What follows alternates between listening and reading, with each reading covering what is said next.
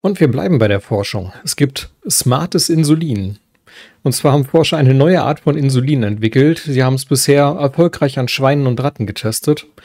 Das Insulin ist klug, indem es sich dann quasi anpasst an die Aktivität und das Glukoselevel im Blut. Somit werden dann hohe Spitzen abgeflacht und zu niedrige Level verhindert. Es sollen mehrere Arten dieses Insulins derzeit entwickelt werden. Damit soll den Ärzten eine individuellere Therapie für ihre Patienten ermöglicht werden.